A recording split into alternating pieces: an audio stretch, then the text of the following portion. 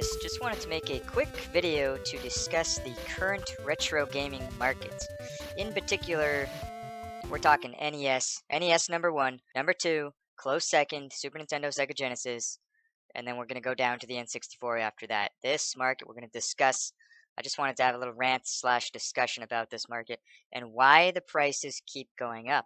Because there's, I see speculators all the time. People keep saying, oh, maybe the prices are going to come down. Well, I got a news flash for you. They ain't never going to come down.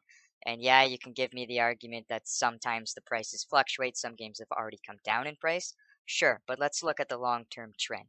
Okay, they might plateau at some point, but with inflation kicking in, they're they're always going to go up. And I want to talk about why.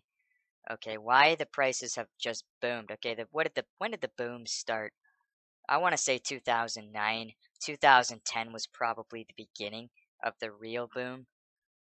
And anyone who has been in the market that long knows exactly what I'm talking about. This boom has been phenomenal, astronomical boom. Just some of these, like I remember Snow Brothers back in, who knows, maybe it was 2010, maybe it was 2011 actually. It wouldn't surprise me, but I remember going to buy that for $25, and at the time, that was actually really expensive. Uh, you know, it was one of the more pricier games, mm-hmm. and I thought I could get it for cheaper.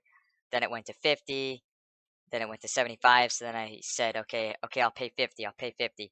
And sure enough, I just paid $400 for it not that long ago. That's Canadian dollars. You can get it for a little bit cheaper, US, but it's pretty much 400. It's gonna, it's going to 800. It's gonna be at a thousand. It's gonna be at the dinosaur's peak rarity slash price at some point. But why are the prices going up and why have they boomed? A combination of many things, but I'm going to focus on just two to three.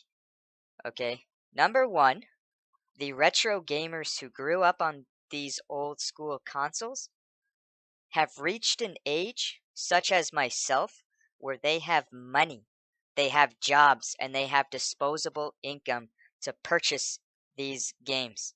They have the money and the funds for the first time in their life where they can afford to dish out 100 500 $5,000, in some cases more.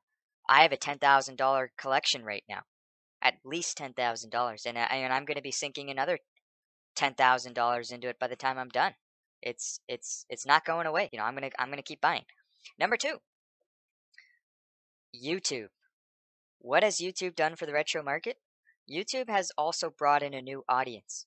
A new audience who didn't actually grow up on these games. So people like me started collecting because I love these games and I grew up playing them.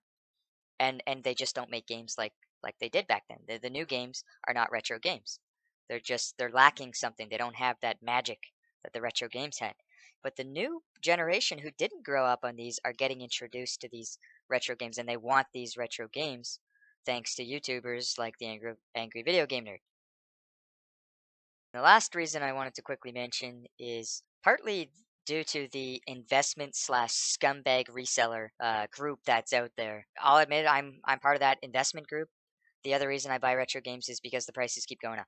Okay, who it's a great investment. I am an investor. I buy stocks, bonds, mutual funds, mostly just stocks. Uh, I buy I buy private businesses. I have websites. You name it. I've dabbled in it. But I also like to buy rare games, rare retro games. That's the other market and and it is it is increasing prices. There are sellers out there resellers investors who will go and, and corner the market on certain games or try to corner the market just to increase prices. So there you have it.